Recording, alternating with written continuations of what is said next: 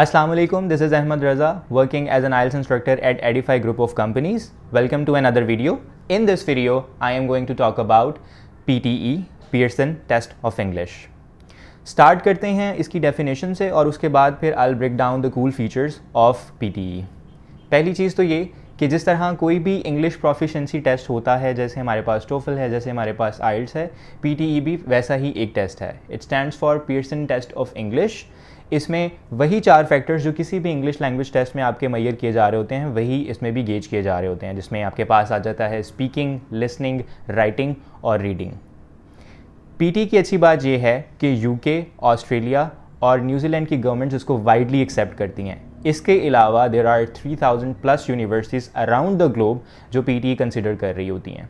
तो ये एक वैलिड टेस्ट है. ना सिर्फ़ ये, इसके बहुत सारे कूल फीचर्स भी हैं.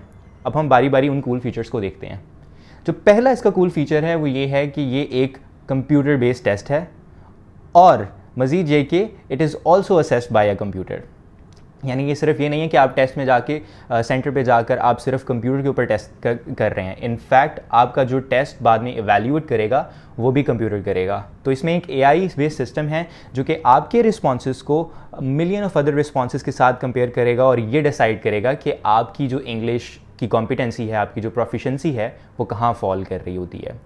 तो इसमें एक चीज़ ये हो जाती है कि अगर आप, आपको कभी ये लगता है कि जैसे फॉर एग्जांपल आइल्स में आप जाते हैं एग्जामिनर से बात करते हैं और स्पीकिंग में कहीं ना कहीं बाइसनेस आ जाती है या राइटिंग टास्क चेक करते हुए कहीं ना कहीं एग्जामिनर की बाइसनेस आ जाती है या फिर ह्यूमन एरर के चांसेस होते हैं। इस टेस्ट में वो चांसेस माइनस हो गए। अब ह्यूमन एरर का चांस इसमें नहीं है, क्योंकि आपका सारा टेस्ट एआई ही मैयर कर रहा है और सारा टेस्ट आपको एआई आपका गेज कर रहा है। एक तो हमारे पास ये कूल फीचर हो गया।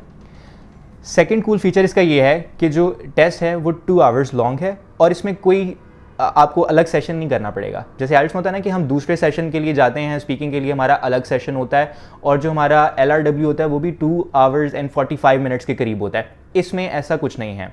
टू आवर्स का टेस्ट है। उस टू आवर्स में आपके चारों स्किल्स मैयर हो रहे होते हैं और इसके अलावा आपको किसी और सेशन की ज़रूरत नहीं पड़ती है। उसके अलावा जो एक बहुत बेहतरीन फीचर है पीटी का वो ये कि इसकी फ्रिक्वेंट टेस्ट डेट्स अवेलेबल होती हैं।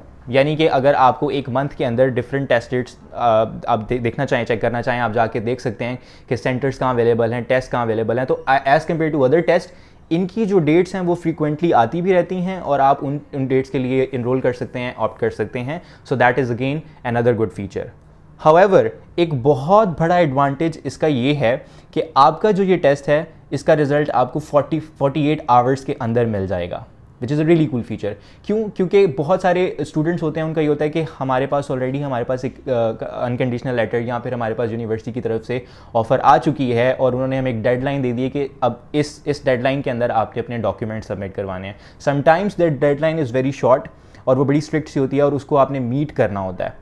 अब उस केस के अंदर, हमें हमें पता है कि आइल्स का अगर हम बात करें तो उसका जो पेपर बेस्ड टेस्ट है, उसका रिज़ल्ट आने में almost thirteen to fourteen days लग जाते हैं। लेकिन इस केस में सिर्फ़ 48 एट आवर्स के अंदर आपके पास टेस्ट आ रहा है। और उसकी वजह I mean it make sense क्योंकि आप, ज़ाहिर है, एक कंप्यूटर वाला टेस्ट दे रहे हैं, और कंप्यूटर के ऊपर दे रहे हैं, और कंप्यूटर ही उसे असेस कर रहा है तो the process in itself is very fast and efficient अब अगर हम टेस्ट फॉर्मेट की बात करें तो उसका टेस्ट फॉर्मेट भी बहुत ज़्यादा आसान है। किस तरह से कि इसमें एक्चुअली ब्लेंड है। ऐसा नहीं है कि आपके चारों सेक्शंस डिफरेंटली कुछ सेक्शन में ऑब्वियसली है, लेकिन अब मैं ज़रा एक्सप्लेन करता हूँ कि इसका इसका जो फॉर्मेट है, वो किस तरह से टेस्ट से डिफरेंट है और इसमें ब्लेंड कैसे है। मिसाल के तौर पे इसका जो टेस्ट है, पूरी जो टू आवर्स हैं, ये तीन सेक्शंस में, तीन मेजर सेक्शंस में आपके पास डिवाइड हो जाते हैं। अब जो पहला सेक्शन है, उसमें आप स्पीकिंग भी कर रहे हैं और उसमें आप राइटिंग भी राइटिंग भी कर रहे हैं। दूसरे सेक्शन के अंदर you will be mostly reading and in the third section you will be listening ठीक है?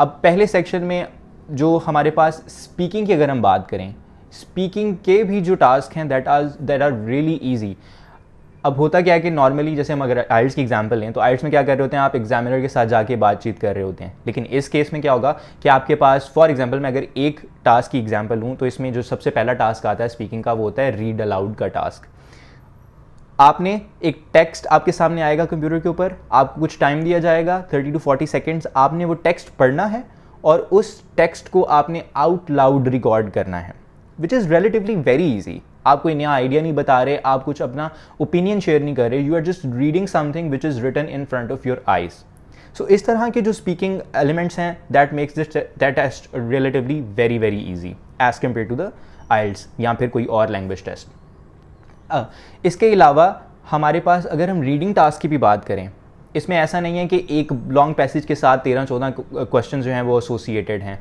इसमें यह कि शॉर्ट क्वेश्चन हैं और विद एवरी क्वेश्चन टाइप आप वो क्वेश्चन सॉल्व करते हो, उसके बाद क्वेश्चन की नेचर और the type of text that you will reach changes ठीक है? तो हर न्यू क्वेश्चन के साथ you have a newer opportunity कि आप अच्छा चलो अगर फॉर इंस्टेंस पिछले वाला उस तरह से आपको एक्यूरेटली समझ नहीं आया तो अब ऐसा नहीं है कि अगर एक पैसे समझ नहीं आया तो उससे रिलेटेड जितने क्वेश्चन है, वो सारे गलत हो जाएँगे। जैसे ही आपका क्वेश्चन टाइप और नेक्स्ट आप नेक्स्ट स्टेप की तरफ़ मूव करेंगे, आपका क्वेश्चन भी चेंज हो जाएगा, आप उसके साथ एसोसिएट एसोसिएटेड टेक्स्ट भी चेंज हो जाएगा। तो that is sort of a new opportunity कि अब आप दोबारा से उसको अच्छे से करने की कोशिश करें। इसीलिए ये जो बजाय के बड़े बड़े टास्क को देखने के पी में क्योंकि स्मॉल टास्क हैं और और टोटल क्वेश्चन टाइप ट्वेंटीज़ हैं इसमें ठीक है? मतलब 20 किस्म के क्वेश्चन हैं और वो स्मॉलर टास्क में उन्होंने डिवाइड किए हुए हैं। और in the first section as I mention के पहले पहला अगर हम सिर्फ़ पहले सेक्शन को देखें तो उसमें पहले पोर्शन में हमारे पास स्पीकिंग है और फिर उसके बाद राइटिंग है which is very very easy so that is why P T is a very good option lastly I need to explain कि इसका मार्किंग क्राइटेरिया कैसे है। Uh, इसमें आपको स्कोर मिलते हैं फ्रॉम टेन टू नाइन्टी ठीक है? जिस तरह हमारे पास आइल्स के अंदर बैंड्स होते हैं या हमारे पास डिफरेंट मार्किंग क्राइटेरियाज होते हैं अदर टेस्ट इसके अंदर टेन टू नाइन्टी के बेस पे आपको मार्क किया जाता है कि आपका, आप किस लेवल पे फॉल कर रहे हैं। जैसे मैंने पहले मेंशन किया था, जब आप अपने रिस्पॉन्सेज रिकॉर्ड करवा देंगे या फिर जब आप अपना राइटिंग टास्क सबमिट करवा देंगे एआई उसको ऑब्ज़र्व करेगा एआई उसको असेस करेगा और वो बाकी रिस्पॉन्सेज के साथ उसको कंपेयर करके देखेगा कि आपकी कॉम्पिटेंसी कहाँ फॉल करती है। एंड बेस्ड ऑन दैट वो आपको मार्क करेगा बिटवीन टेन टू नाइन्टी एक इंपॉर्टेंट चीज़ आपने यहाँ पे ये याद रखनी है कि कभी भी आपने उस चार्ट को फॉलो नहीं करना जो चार्ट डिसाइफर कर रहा होता है कि अच्छा अगर पीटी में इतने हैं तो आयल्स में उस, उसके इक्वलेंट इतने बैंड्स बनते हैं। मैंने ये प्रॉब्लम्स देखे हैं कि लोग क्या करते हैं कि अपने हिसाब से अंदाज़ा लगा लेते हैं अच्छा इतने बैंड के लिए फॉर इंस्टेंस सिक्स के लिए आ, मेरे पीटी में इतने मार्क्स आ गए तो मेरा काम बन जाएगा। लेकिन अक्सर होता है कि हम वो अचीव भी कर लेते हैं। पर यूनिवर्सिटी वाले उसको फिर एक्सेप्ट नहीं करते हैं, वो कहते हैं, नहीं, हमने तो डिफरेंट क्राइटेरिया सेट किया हुआ था। तो जो आपने अप्रोच यूज़ करनी है, वो हमेशा ये यूज़ करनी है कि सबसे पहले यूनिवर्सिटी की वेबसाइट के ऊपर जाएँ और देखें कि वहाँ पर उन्होंने कितने मार्क्स का क्राइटेरिया दिया हुआ है। Whether they want fifty whether they want sixty seventy what is it आपने सिर्फ़ उस इन्फॉर्मेशन के ऊपर रिलाई करना है ताकि आपकी एफर्ट वेस्ट ना हो। ठीक है so these are some really amazing features which makes P T a good option if you want to opt for it if you need to know anything about it you can reach out to us and we will be more than willing to help you. Thank you so much.